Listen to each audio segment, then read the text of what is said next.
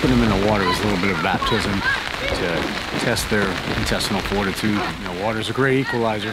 People have a fear of that, especially cold water. So there's a baptism into the, uh, the team assessment. So right now we're doing uh, an over-the-shoulder sandbag toss. They had a one-mile buy-in, kind of spread the teams out. Now they're just tossing the sandbag down 100 meters and then back. Every time they come back, we count the laps. One three. Uh, one three. They'll continue to do this for an hour plus. Uh, cl- one two until I tell them to stop, uh, and then we'll score them based upon the number of laps and their time.